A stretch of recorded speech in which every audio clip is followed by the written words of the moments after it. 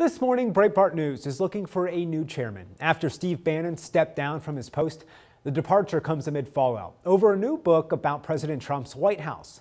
In Michael Wolff's Fire and Fury, Bannon reportedly called Donald Trump Jr.'s meeting with the Russian lawyer in Trump Tower, quote, treasonous.